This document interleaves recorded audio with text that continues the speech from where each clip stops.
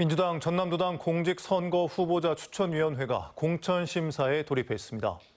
공관위는 경선 후보 면접심사와 적합도 조사 등을 거쳐 다음 주 초부터 각 선거구별 경선 후보를 결정할 예정입니다.